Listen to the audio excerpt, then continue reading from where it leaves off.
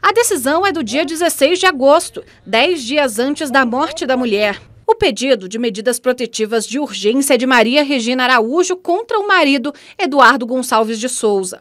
No processo, a juíza alega que o homem não havia sido interrogado e não há relatos de testemunhas. A magistrada foi informada de que a vítima não tinha um bom relacionamento com o esposo e teria sido ameaçada quatro dias antes. Mesmo assim, a autoridade judicial entendeu que não havia necessidade de conceder a medida protetiva e que o conflito do casal seria resolvido com um divórcio, já que o problema seria um desgaste matrimonial. Determinou apenas que a vítima buscasse a defensoria pública para ser orientada sobre uma possível separação. O documento foi assinado pela juíza Eugênia Cristina Bergamo Albernaz, do Juizado de Violência Doméstica e Familiar contra a Mulher do Paranoá. Maria Regina Araújo, de 44 anos, foi assassinada pelo companheiro que ela denunciou. Foram pelo menos 20 facadas que atingiram as costas e o pescoço dela.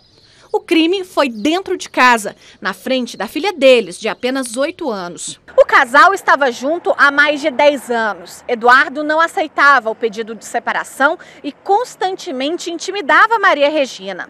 A família sabia das ameaças. Não queria mais nada e queria separar ele, não queria ir embora, que ele estava seguindo ela e tudo. Esta amiga da doméstica, que preferiu não mostrar o rosto, contou o desejo da vítima de se divorciar mas nunca imaginou que Eduardo fosse capaz de assassinar a mulher. Parecia essa pessoa violenta, sabe?